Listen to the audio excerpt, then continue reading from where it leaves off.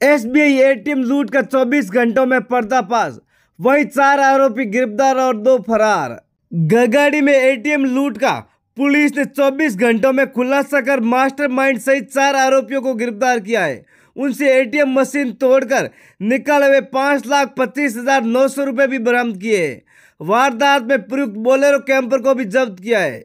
लूट की वारदात को स्थानीय युग की मदद से अंजाम दिया गया। गगाड़ी निवासी नेमीचंद पलीवाल तेबीस वर्षीय करवड़ के जुड़ निवासी दिनेश उन्नीस वर्षीय खेड़ापा के चांद्रक निवासी सोनाराम मेघवाल सत्ताईस वर्षीय और करवड़ के नेत्रा निवासी धन्नाराम मेघवाल अट्ठाईस वर्षीय को गिरफ़्तार किया है। वहीं जितेंद्र नाम के दोनों आरोपी फरार चल रहे हैं। पुलिस 50 किलोमीटर तक सीसीटीवी फुटेज खंगालते हुए आरोपियों तक जा पहुँची। कोटा के महावीर नगर हाल जेलू गगड़ी एसबीआई के शाखा प्रबंधक जय सिंह राठौड़ ने रिपोर्ट दी। इसमें बताया कि शनिवार देर ढाई बजे सूचना मिली कि बदमाश उनकी शाखा का एटीएम मशीन उखाड़ कर ले गए। वे अकाउंटेंट मनोज के साथ पहुँचे और सीसीटीवी फुटेज दे गए इसमें रात डेढ़ बजे सफ़ेद बोलेरो कैंपर में तीन चार आदमी मुँह पर कपड़ा बांधे दिखे। उन्होंने एटीएम कक्ष का ताला तोड़कर दरवाज़ा खोला और एटीएम मशीन को बांधकर उखाड़ा और अपने साथ बालेश्वर की तरफ़ ले गए मामला सामने आने के बाद में पुलिस ने टीम गठित कर तलाश शुरू की। चौंकाने वाली बात है कि गैंग का मास्टरमाइंड सोनाराम था, बाकी लुटेरे उनसे ही संपर्क में थे।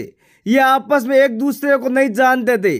सोनाराम ने स्थानीय के तौर पर नेमित चंद को गैंग में शामिल किया। उसी ने पूरी रैकी कर लूट में सहयोग किया। मास्टरमाइंड सोनाराम पर चोरी के कई मामले दर्ज हैं। वहीं आरोपी दिनेश पर कंटी लूट और चोरी के कई मामले दर्ज हैं, जबकि धन्नाराम और नेमीचंद के खिलाफ पुलिस में कोई भी मामला दर्ज नहीं है। पुलिस ने बताया कि लूट के बाद लुटेरे पेट्रोल भरवाने पंप पर गए थे।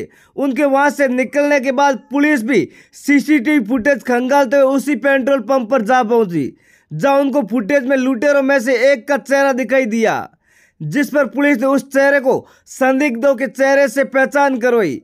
यहाँ पुलिस के लिए पहली लीड मिली। उसी से पुलिस आरोपियों तक जा पहुँची और पूरे मामले का खुलासा कर दिया।